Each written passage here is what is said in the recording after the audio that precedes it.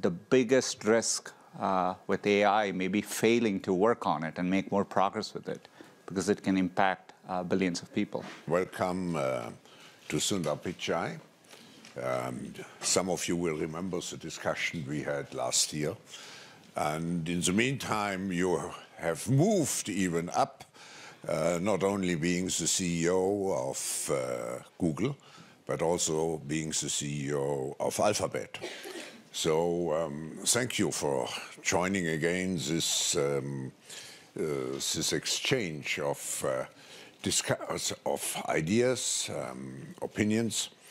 Um, but my first question is: You have called yourself a technology optimist, and we hear a lot sometimes of concerns about technologies. What makes you actually optimist? Well, first of all, Professor Schwab, uh, thank you for uh, having me here. It's a pleasure to be back.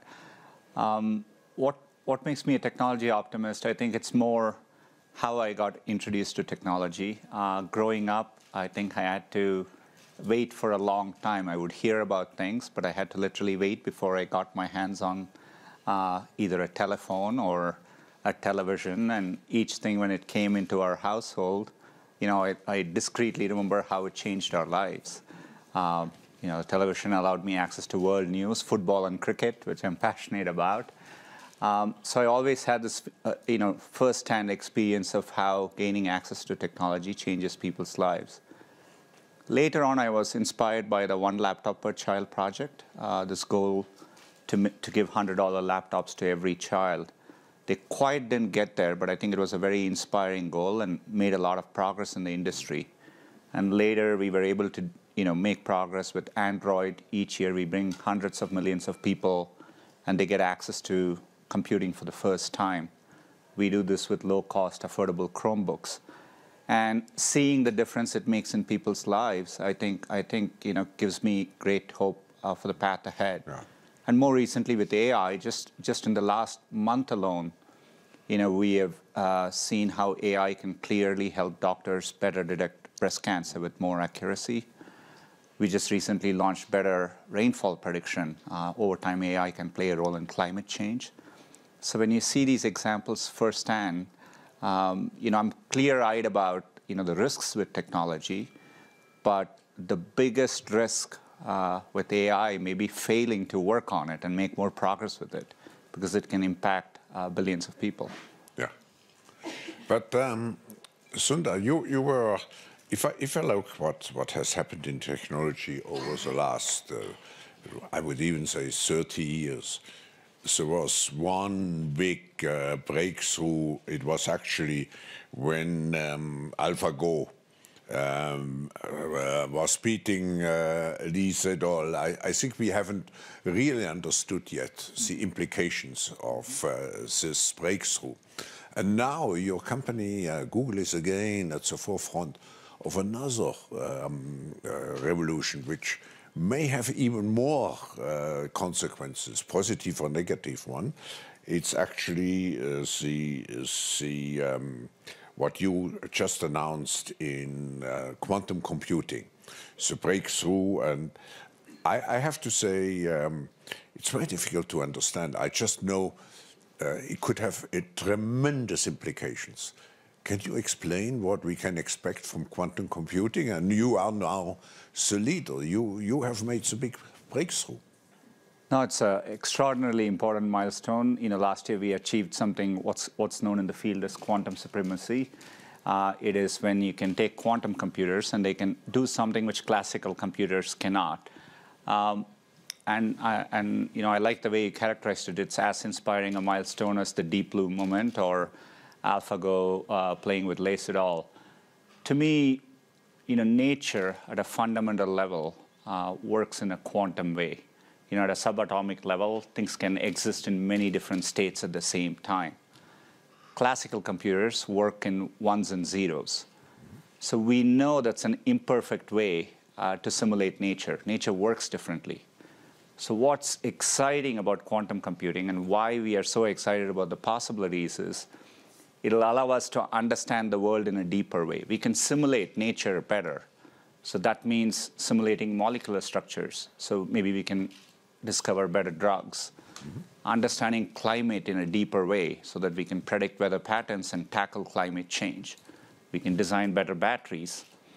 Nitrogen fixation, which is the process by which we make the world's fertilizers, accounts for 2% of carbon emissions. And the process hasn't changed in a long time because it's very complicated. Quantum computers one day allows us the hope that we can make that process more efficient. So it's very profound. We've all been dealing in technology with the end of Moore's law. Uh, you know, it's re really revolutionized the past 40 years, but it's leveled off. So when I look at the future and say, how do we drive improvements, quantum would be one of the tools in our arsenal uh, by which we can keep something like Moore's law continuing to evolve. So the potential is huge, and you know we'll have challenges. Yeah. You know, in a five to ten year time frame, quantum computing will break encryption as we know it today. But you know we can we can work around it. We need to do quantum encryption. Uh, so there are challenges, as always with any evolving technology. But I think the combination of AI and quantum will help us tackle some of the biggest problems we see. And you add also to a certain extent genetics. I mean, I think uh, quantum computing and biology will one of the uh, biggest potential will, will, have a great potential, yeah. positive and negative one. Uh, the positive one, as you're saying rightly, is uh, you know to simulate molecules, protein folding, et cetera. To it's very very complex today. We cannot do it with classical computers. So with quantum computers, yeah. we can. Yeah. Uh, but we have to be clear-eyed about uh, you know all these powerful technologies, and uh, you know this is why you know I think we need to be deliberate and regulate technologies like AI, and as a society needs to need to engage on it. But that leads me to the next question, actually, because um, in an editorial in Financial Times, which I read just before the annual meeting, you stated, and I quote, Google's role starts with recognizing the need for a principled and regulated approach for applying artificial intelligence. What, what, what does it really mean? You know, I, have said this before. AI is one of the most profound things we are working on humanity, uh, as humanity. It's more profound than fire or electricity or any of the other bigger things we have worked on.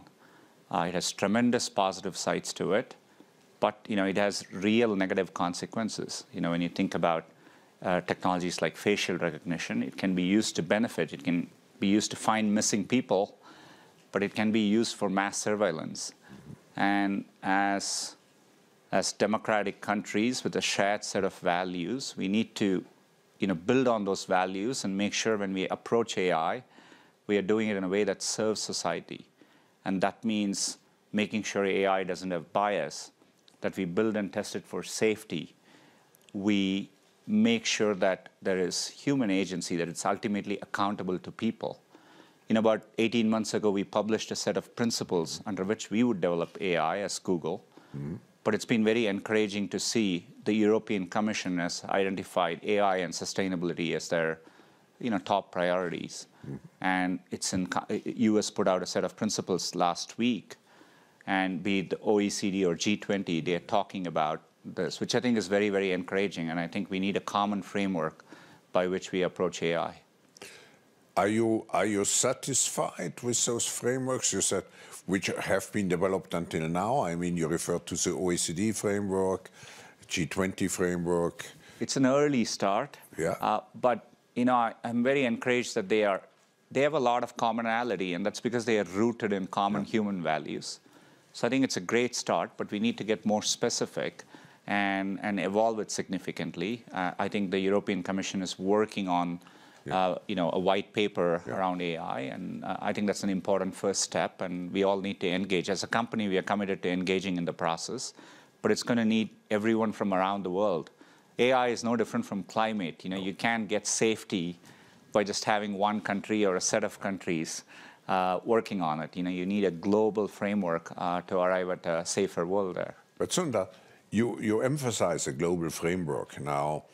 Um, the question is how much is actually China engaged into those efforts? And don't you see the danger of the two uh, circles and um, that at the end we end up with two different frameworks. One which is more uh, coming out of Beijing, and one which is developed uh, inside the OECD um, uh, concept.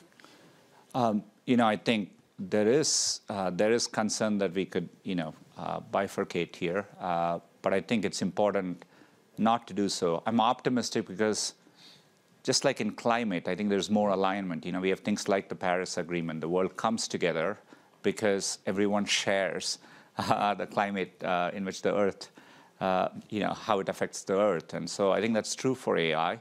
So down the line, I think there'll be there'll be a common gravitational pull, uh, regardless of who you are, to try and converge. Uh, otherwise, you won't be able to achieve peace and prosperity. So I think there'll be a there'll be a gravitational pull. No, we need it. And we actually, the forum with its Center for the Fourth Industrial Revolution is trying to, to bring the parties together.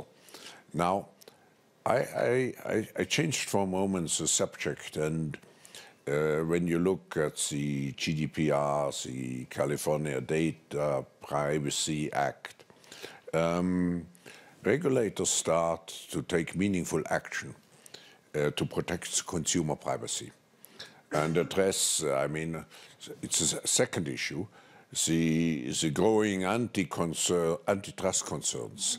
Um, Google buying up all startups which are in the, uh, let's say, AI area and so on. Um, and some believe uh, that uh, actually companies like Google should pay, I think it was called, a digital dividend. Mm -hmm. Uh, can you can you uh, um, share with us what what is actually is the policy of of Google? And I have here two. I, I come back: privacy and antitrust. You know, it's a it's a great question. Uh, first of all, uh, maybe we'll talk about privacy. You know, uh, GDPR has been a great great um, template. Um, I think it gives a standardized privacy framework. Uh, you know, and often when we are in other countries and when we are, they are thinking about privacy regulation, you know, we point to GDPR as a template. I'm glad Europe took the lead on it, and I think that gives a good framework for all of us to work on. Um, for us, you know, privacy is at the heart of what we do. You know, users come to Google at very important moments, ask us questions. We deal with people's sensitive information in Gmail, Google Photos, and so on. And so we have to earn that trust. And you know, today we do it by giving them control and transparency and choice around it. Mm. And over time, I think AI actually allows us to do this better. We can do more for our users. Most of the data today we deal with is to help users with their information needs. And we can do that with less data over time. Um, and it's counterintuitive. But last year, for example, if you use Google's keyboard, we actually now learn uh, what to suggest but we don't send the raw data back. We only compute our models, and the data stays on the phones. So over time, I think we can do more things on device. We can use AI to actually preserve privacy as we improve user experiences. And I do think it should be, it's important that products need to work for everyone. It's a foundational principle. So today, if you take a product like YouTube, we allow users to pay for it and get it in an ad-free basis, or you have an ad-supported product. It's what allows us to take information and provide many services to billions of people around the world. And you know, privacy cannot be a luxury good. We need to make sure we develop services in a way that works for everyone, but puts them first and you know, is privacy enhancing. And, and that's the journey we are all on. But ultimately, it's up to users to choose. On your second question, I think with our scale, uh, rightfully comes scrutiny you're right, we have bought startups, but you know, as a company, we invest every single year in hundreds of startups through our venture arms. We support entrepreneurs and incubators around the world.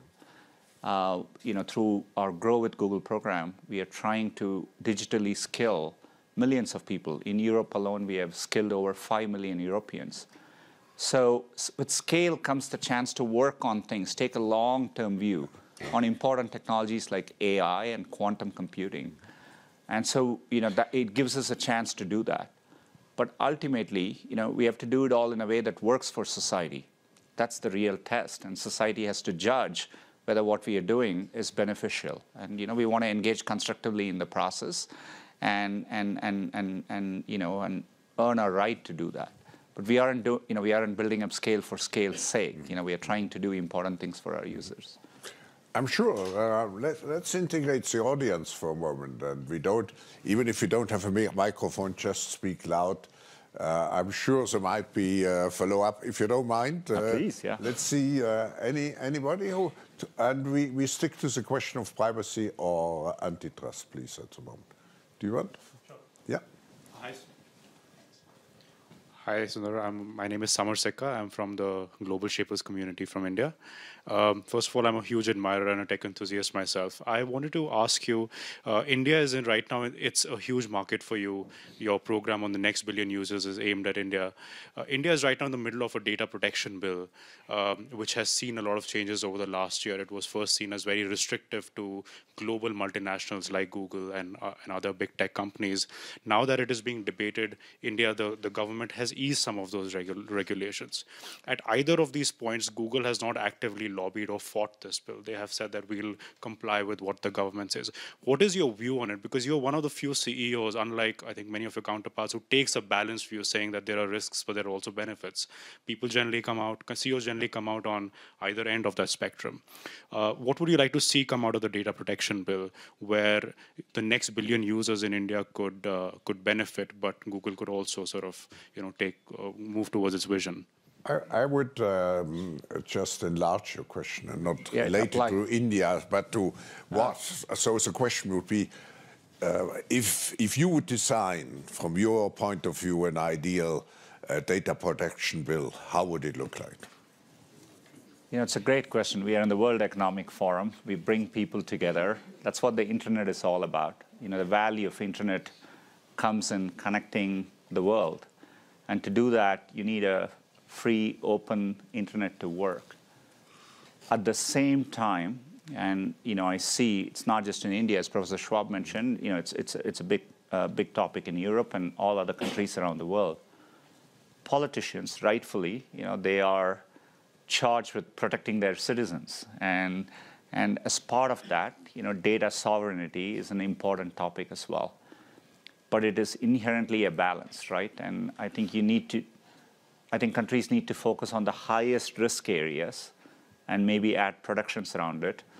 But you want to, uh, you know, help preserve a common internet. Even in India, for example, if you take a product like YouTube, many creators in India, more than 50% of their views come from outside of India. The internet is essentially an export product. You know, you can build a service, regardless of where you build it, you can reach people around the world. That's what's great about the digital economy. It's, uh, it creates new opportunities. And so that's the balance countries have to strike. But I think, you know, uh, you know, I think there are good regulations. GDPR is a good framework as we think about how you can protect privacy for, uh, for, for your users, for your citizens. Doesn't always mean data has to be siloed in a particular way. And I think, I think we need to evolve those frameworks carefully. Any other comments? Um, let me see. Uh, Maybe no, someone from go, uh, behind. Uh, let's yeah. go into back. Yeah. yeah. Or, Hello, my name is Guan from uh, Learnable AI, actually an AI startup from Harvard Innovation Lab. So we do a lot of uh, explainable AI. So, and uh, I'm a big fan of Google's technology, especially DeepMind. Uh, so I want to know, in terms of transparency and explainability for uh, AI, what do Google think, and what's Google's plan? Thank you. Such a great question. You know, one of our AI principles is that AI is ultimately accountable to humans, and, and to do that well, explainability is a big part of it. Now, you can imagine a self-driving car making a decision and us being able to explain. I think it's worth remembering humans can't always explain how we make our decisions.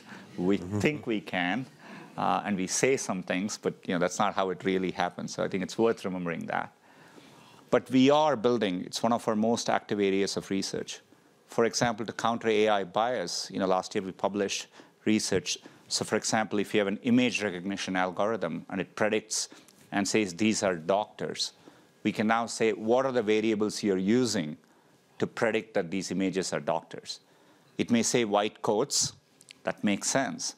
but sometimes the model can say male because it has seen only pictures of male doctors. And then you know it's not working well.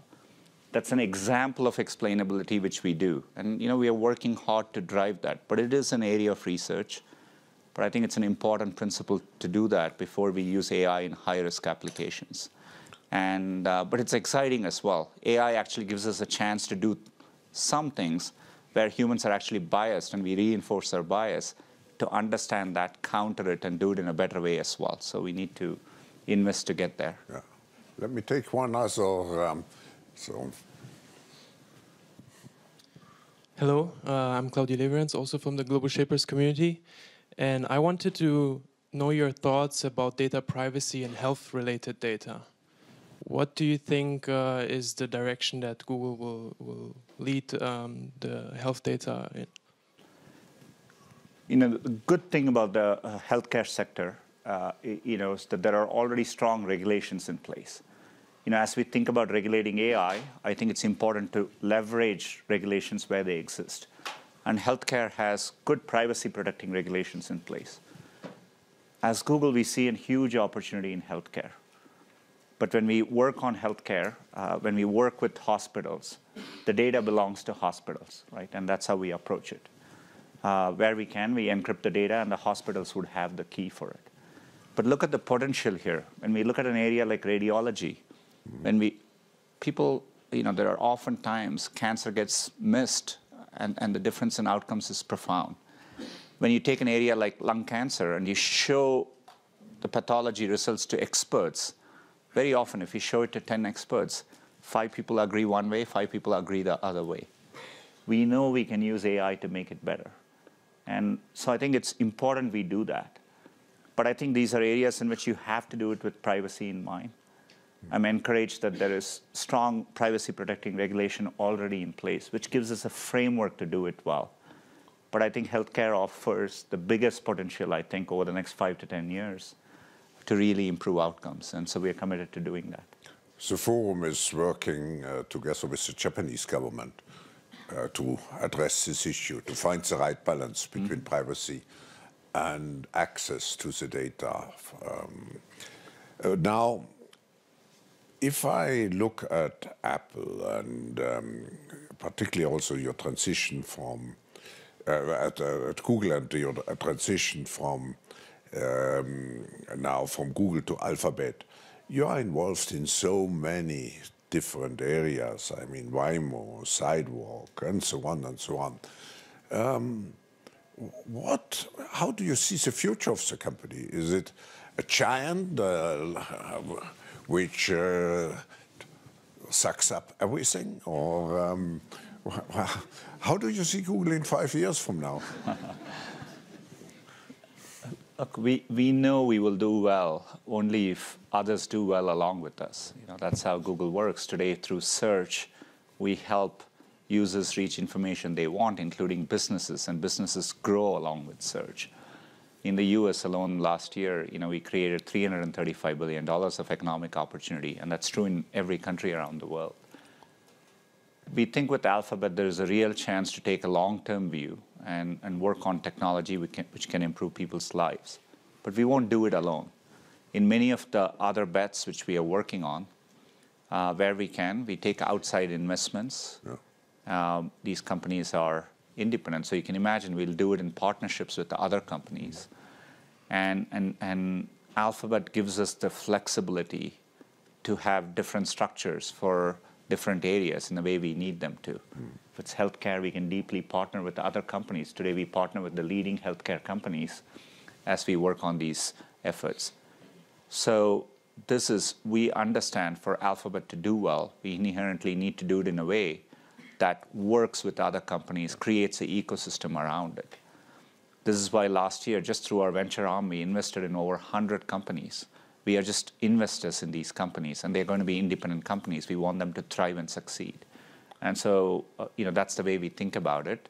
But I think it gives us a real chance to take a long-term view, be it self-driving cars or AI, and approach it uh, with a long-term view in mind. So now, one last question. You, you are uh, now um, at the top of one, uh, one of the three or four, whatever you say, um, not only most valuable companies, but most powerful companies. Um, you said you are an optimist. Um, when you wake up at night, what, and you cannot sleep anymore, what worries you at that time? uh, you were pretty insightful. When you wake up at night, that is, that is literally true. Yeah, I do, I do, I do wake up at night. Um, you know, and um, what worries me at night, uh, you know, I, I, I, think technology has a chance to transform, uh, uh, you know, society for the good, but we need to learn to harness it to work for society's good. But I do worry that we turn our backs on technology, and I worry that, you know when people do that, they get left behind too. And so to me, how do you do it in an inclusive way? You know, just coming here, I was in Belgium and I went to Molengeek. You know, it's a, it's a startup incubator in Molenbeek. In that community, you see people who may not have gone to school, but when you give them access to digital skills, they're so hungry for it. Yeah. People want to learn technology and be a part of it. Yeah. That's the desire you see around the world when we travel. When I go to emerging markets, you know, it's a big source of opportunity. And so I think it's our duty and responsibility to drive this growth in an inclusive way. And so that keeps me up at night.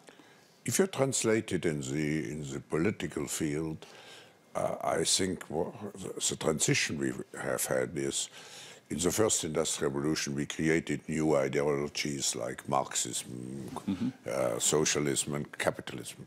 Today, I think the dividing line in the society is between those who embrace technology and those who reject uh, technology. So um, you have also an, an, important role as a, a prophet or missionary uh, to explain that uh, all those new technologies at the end are beneficial for humankind? You know, very much so. Uh, search at the heart works. It does not matter whether you're a student in Africa or you're a professor at Stanford. You know, search works the same way as long as you have access yeah. to a computer and connectivity. You know, that's an equalizing force, and you know, then that's how we need to appro approach technology over time. And I think that's the real opportunity we have. So you don't have to if I, I, take your role, you, you, don't have to sell only a product or manage your, I don't know how many people now, um, but you have to be at the outfront to explain continuously that what you are doing is good. Now, how much time do you devote to the third portion of your responsibility? You know, I think with naturally, uh, with scale comes that responsibility. I do see as a big role for us to engage externally, you know, partner with other institutions, be it governments, regulators, nonprofits, uh, educational institutions. The forum. Uh, the World Economic Forum, and, and, and engage. And I think it's yeah. a big part of what we do. Uh, yeah. So. No, thank you very much uh, to, to have responded to those sometimes critical questions. And um, uh, we hope we said we can continue this discussion in the coming years. And we wish you all the best in the meantime. And we all will use Google substantially in the meantime. Thank you. Thank you very much. Thank you.